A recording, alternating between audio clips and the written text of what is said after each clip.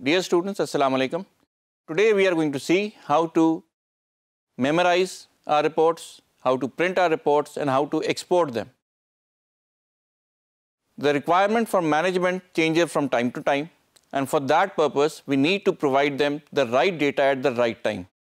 अगर उनको सही इन्फॉर्मेशन सही वक्त पे मिल गई तो सही फैसला सही वक्त पे हो जाएगा अगर फैसले करने के लिए हमें रिपोर्ट टाइम के बाद मिले तो उस रिपोर्ट का भले वो बहुत ज़बरदस्त क्यों ना हो, कोई फ़ायदा नहीं। तो सबसे अहम चीज़ है कि हमें टाइमली रिपोर्ट मिलनी चाहिए। दूसरी चीज़ ये है कि हमारे पास एक ज़माना था जब रिपोर्ट का मतलब ये था कि प्रिंटेड डॉक्यूमेंट हमारे सामने आता था। आजकल के इलेक्ट्रॉनिक दौर में दो चीज़ें आपको याद कराना चाह रहा हूँ। एक तो ये कि हमारे पास बहुत सारी इंफॉर्मेशन सॉफ्ट फॉर्म में फ्लो करती है ईमेल के थ्रू इन दैट केस हमारे पास प्रिंट करके या इस, उसको दोबारा से स्कैन करके भेजना एक कम्बरसम काम है, एक मुश्किल काम है। इसके लिए फैसिलिटी ये है कि आपकी रिपोर्ट्स बिल्कुल सही फॉर्मेट में, सही शक्ल में पीडीएफ में कन्वर्ट हो जाती हैं।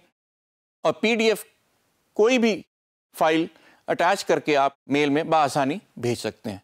तो आजकल का नया दौर में जो डॉक्यूमेंट्स हम भेजे, भेजते हैं आमतौर पे, वो पीडीएफ के फॉर्मेट में होते हैं। तीसरी चीज़ ये है कि हमारे पास डेटा बहुत है और हर जगह कुछ ना कुछ लिमिटेशन होती है। लेकिन वो लिमिटेशन हमारा माइक्रोसॉफ्ट एक्सेल काफ़ी हद तक ख़त्म कर देता है। जब अब आपके पास रॉ डेटा हो तो एक्सेल उसको जिस फॉर्म में आप चाहें, उस, उसमें कन्वर्ट करने की आपको फैसिलिटी देता है। और बशर्त है कि आपको सही डेटा आपके पास एक्सेल में आ जाए।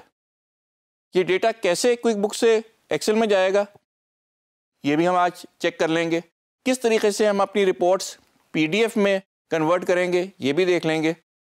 और ये भी देख लेंगे कि प्रिंट करने से पहले हम उनको किस तरीके से फॉर्मेट करके अपने असल जो हमें रिक्वायरमेंट है, उस पर पूरा उतर सकते हैं। तो आज की उसमें लेसन में हम ये देखेंगे कि हम कोई भी नई रिपोर्ट कैसे क्रिएट करें। क्रिएट करें तो उसको सेव कैसे करें? सेव करने के बाद अगर हम उसे प्रिंट करना चाहते हैं तो प्रिंट कैसे करें? और अगर उसको एक्सपोर्ट करना चाहते हैं एक्सेल में तो वो कैसे करें? तो let's go over to QuickBooks आज हम देखेंगे कि हम अपनी कोई भी कस्टमाइज रिपोर्ट को कैसे सेव करते हैं और उसको हम किस तरीके से प्रिंट कर सकते हैं और किस तरह से एक्सपोर्ट कर सकते हैं। तो आइए चलते हैं सबसे पहले रिपोर्ट सेंटर पे। रिपोर्ट सेंटर पे हमारे पास सारी रिपोर्ट्स मौजूद हैं, लेकिन for the sake of taking an example we are going to use the profit and loss detail report पहले हम इसे थोड़ा सा अपने हिसाब से कस्टमाइज़ कर लें, ताकि हमें सिर्फ़ वो चीज़ें नज़र आएँ जो हम देखना चाहते हैं। अब ये report as per requirement set हो गई है, और हम इसको अब सेव करना चाह रहे हैं अपने पास एज अ न्यू रिपोर्ट जब भी हम इसको सेव करना चाहेंगे एज ए न्यू रिपोर्ट तो हमें करना पड़ेगा इसे मेमोराइज मेमोराइज तरीक़ेकार कहलाता है क्विक बुक्स में सेव एज जब भी आप कोई चीज़ सेव एज करेंगे as far as QuickBooks is concern हम उसको कहेंगे मेमोराइज कहाँ मेमोराइज हुई हुई रिपोर्ट्स आएँगी? वो भी हम अभी चेक कर लेते हैं, लेकिन पहले हम इसे मेमोराइज करते हैं। ये profit and loss detail report है और इसको हमने कर दिया है कस्टमाइज्ड ये इसका अब नया नाम है। हम चाहें तो ये रिपोर्ट अपने अकाउंटिंग सेक्शन में सेव कर सकते हैं और इधर ही हम इसे सेव कर रहे हैं इस वक्त।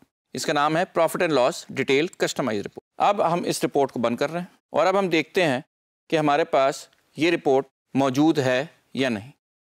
रिपोर्ट्स में जाएँ और यहाँ आप चेक करें मेमोराइज रिपोर्ट्स क्योंकि हमने अकाउंटेंट में सेव की थी तो हम अकाउंटेंट में जाएँगे तो आपको profit and loss detail customize report जो अभी हमने क्रिएट की है, वो नज़र आ जाएगी। अब हमारे पास ये रिपोर्ट मौजूद है, जो हमने कस्टमाइज़ करके एक नए नाम से सेव एज किया है, और ये मेमोराइज हो गई है, यानी कि ये सेव एज हो गई है एक नए नाम से। बेस किस पे करती है ये? बेस करती है ये अपनी profit and loss detail report पे।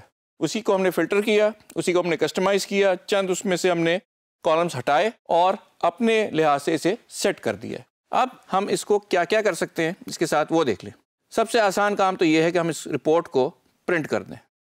जैसे ही हम इसको प्रिंट करेंगे तो आपके पास ये तमाम चीज़ें सामने आ जाएँगी कि आप किस प्रिंटर पे इसे सेट करना चाह रहे हैं, वगैरह वगैरह, और आप इसे प्रिव्यू करके भी देख सकते हैं। पूरी रिपोर्ट का प्रिव्यू आपके सामने, खुल के सामने आ जाएगा। ये वो शक्ल है जो आपको प्रिंट करने के बाद ऑन एनी गिवन प्रिंटर नज़र आएगी। हम चाहें इसको डायरेक्टली सेव एज पीडीएफ करवा दें।